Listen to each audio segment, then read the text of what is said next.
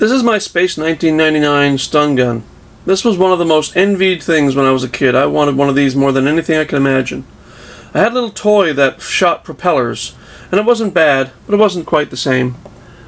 Uh, I recently bought a resin model, which is very nice, but I decided to build one with my own 3D printer, and here it is.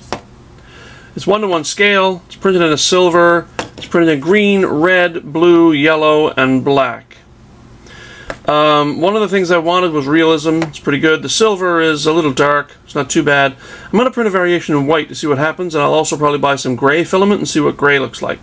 One of the cool things is I altered the green stun at top. I mean, in, in the movies, or in the TV series, I believe it's a black um, sticker with the word stun in it. I wanted to do it in green just because green and red sort of mean safe and dangerous, and I thought it would be a little bit better. Makes it my own variant.